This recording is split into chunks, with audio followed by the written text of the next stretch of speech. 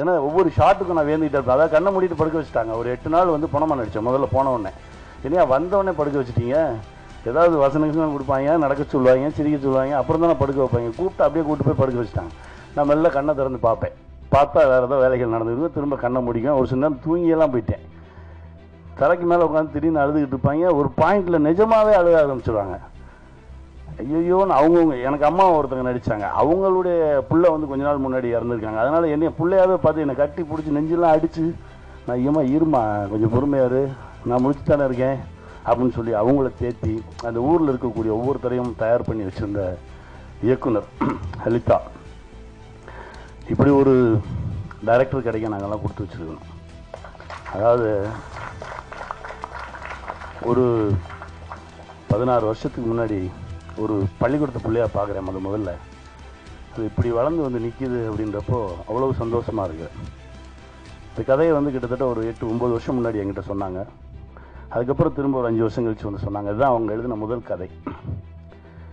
அப்புறம் இந்த மாதிரி சார் ப்ரொடியூஸ் பண்ணுறாங்க நம்ம புஷ்கர் காயத்ரி அவங்க வந்து எக்ஸிக்யூட் பண்ணுறாங்க அவங்களும் அவங்க வந்து இது பண்ணுறாங்க இதை தான் இருக்குது இந்த இந்த செட்டப்பில் போகிறோம் நீங்கள் தான் பண்ணுறீங்க அப்படின்னாங்க. இப்போ இன்னொரு அடிக்காக சொல்லுங்கள் அப்படின்னு ஏன்னா கண்டிப்பாக பண்ண போகிறோம் அப்படின்னு தெரிஞ்சிச்சு. அந்த கதை கேட்டதுலேருந்து இருந்த பிரமிப்பு அவங்க அதை அடுத்தடுத்த தளத்துக்கு எடுத்துகிட்டு வந்த விதம் அவங்க அதை உருவாக்கின விதம் பயங்கரமான பிடிவாதம். அது எங்கேயுமே தெரியாது. வேணும்னா அது வேணும் அவ்வளோதான் எடுக்கணும்னா அது எடுக்கணும் அவ்வளோதான் எந்த முகமே தெரியாது. சிரிச்ச முகமாகவே இருப்பாங்க. அந்த சாங் எடுக்கும்போது அந்த குதிரை வண்டியில் நானும் என் மகனும் அப்பளம் தின்ட்டே போவோம். வண்டி ஒரு வேகத்தடையில் ஏறிச்சு டங்குன்னு மேலே முட்டிட்டேன். அது இரும்பு கம்பி. நான் வலிச்சா கூட வலிக்கலன்னு தான் சொல்லுவேன். ஆனால் நிஜமாக வலிச்சது. வீங்கிருச்சு. நான் போய் மெல்ல போய் எனக்கு தலையில் முட்டிட்டேன். வலிக்குது அப்படின்னா அப்படியா வாங்க அடுத்த சாட்டுக்கு போயிடுவோம் அப்படின்னு கூட்டு போயிட்டேன். ஏய் என்ன நடக்குது? அப்படின்னு சொல்லி மணிட்டு தான் சொன்னேன். என்னங்க மண்டை வலிக்குதுன்றேன் ஒரு ரியாக்ஷனில் சிரிச்சுக்கிட்டு அடுத்த ஷாட்டு கூப்பிட்டு போயிட்டாங்க அப்படின்னு.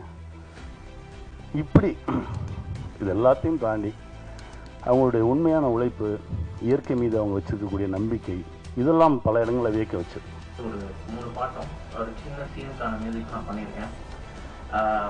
ஃபஸ்ட்டு இந்த படத்தில் வேலை பண்ணுறதுக்கு எனக்கு வாய்ப்பு கொடுத்த Gayathri ma'am Pushkar sir and பைனாப் studios வந்து என்னுடைய நன்றிகள். நான் இதுக்கு முன்னாடி இண்டிபெண்ட் மியூசிக் பண்ணிருந்தேன். ஒரு அண்ணன் ஒரு பேண்ட்லாம் வச்சுருந்தேன். அந்த பாட்டெலாம் கேட்டு தான் எனக்கு இந்த வாய்ப்பு கொடுத்தாங்க. அதுக்கு வந்து என்னுடைய மிகப்பெரிய நன்றி. ஆம், அடுத்தது ஹலிதா அண்ட் ஏலே ஏழை ஸ்கிரிப்ட் நான் வந்து ஃபர்ஸ்ட் ஃபர்ஸ்ட் படிக்கும்போது எனக்கு ஹலிதாவோட வேற எந்த ஒர்க்கும் நான் பார்த்து பார்த்தது கிடையாது. சில்லு கருப்பட்டி அந்த டைம் ரிலீஸ் ஆகல.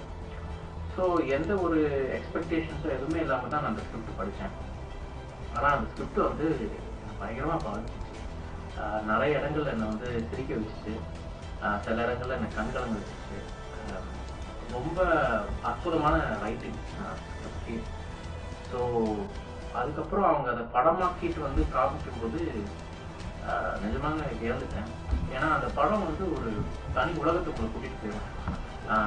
நடித்தவங்க கணிச Manikandan Madhumathi and DOP and edit பண்ணவங்க எல்லாருமே வந்து அவங்கவுங்க வேலையை வந்து கச்சிதமாக பண்ணியிருக்காங்க. இந்த படம் வந்து ரொம்ப திருப்தியாக இருந்துச்சு அந்த பார்க்கறதுக்கு வேற ஒரு உலகத்துக்கு கூட்டு சொன்ன மாதிரி இருந்துச்சு